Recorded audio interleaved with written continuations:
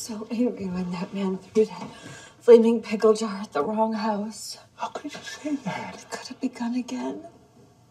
Could move. Moving isn't moving on. Do you want me to move on? Yeah. Then blame me. For what? I drove the car. Blame me.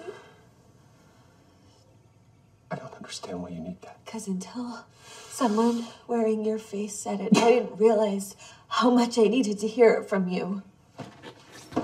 This is not. This is. It's not ideal. Do you blame me for Phil's death? I can't give you what you want. Why won't anyone tell me what I already know? Why won't anyone let me have that? No one will let me have that. But you will.